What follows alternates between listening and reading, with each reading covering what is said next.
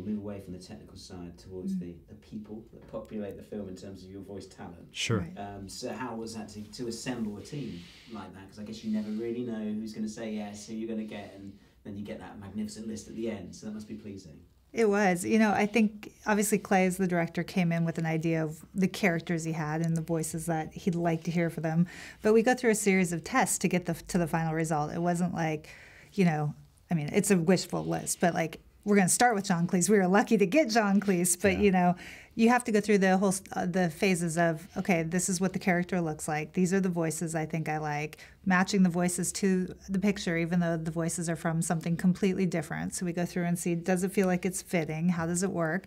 And then we actually will take and animate the character to that voice to give it the final like thumbs up. Yes, we're heading in the right direction. And then we hope they sign on. Yeah, it's it's uh, we call it a non sequitur casting call. Yeah. You know, we'll we'll pull a clip from some movie, and then we'll have a drawing or two, and we'll just take that clip and connect it to the drawing, and then you just watch and listen, and it's it's an interesting process to help sort of narrow down your focus on who you might choose. Is it tricky with a Python to tell him what to do with the character?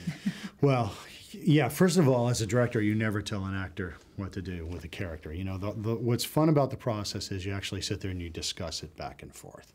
And you know, bringing in a legend such as John Cleese. First of all, I'm, I'm in awe right away that I'm able to even be in the same room with the guy, and then to be able to share, you know, this project and and to get, to have him be part of it. Um, I looked to him. We went back and forth on like who this character is, and he came up with several different ideas for a Bulldog, old school RAF or a crotchety something or another, and you know another thing. And and I'm like, well, it's a little bit old school RAF, and I kind of like the crotchety. And so he combined those two, and he goes, oh, well then maybe it would sound something like this, and he did it. And I'm like, man, that's it.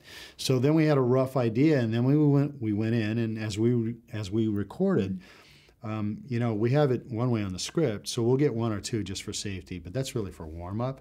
And then it's all about kind of letting John go and myself going back and forth and riffing. And then what you see, that that's when the magic really happens, when all of a sudden that character gets elevated and it's really funny. And that's that's all John.